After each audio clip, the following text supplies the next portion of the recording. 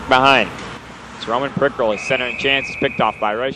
Walking on into the zone, going to the inside. They shoot and they score. what Marcus a goal! Schmid.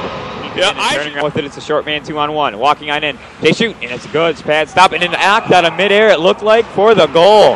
Again, the rebound pop. Well, he scores. And there it is.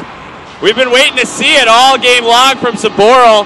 Uh, back behind net with it. It's the Sala centering pass is picked off and still bouncing around. They have it again. They shoot and they score. wow, that was a bit of a breakdown there as Picorni comes in. shot on goal and they score. Oh man, nice job there by Fabio Pfohl.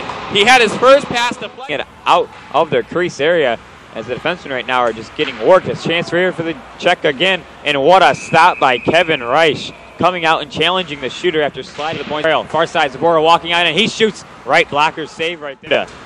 Bunda trying to work his way through. He's in the high slot area. Good pass right there. Teeing one up and into the glove. Kevin Reich. He is at the point. Bassard shoots. Deflected and they score. That's a tie hockey game. And what- so much better as after some more time four on four now as Germany's even strength. Over to Cokes. Cokes, far side, one timer, right into the glove, and holding on to it. It's under him is Kevin Reich.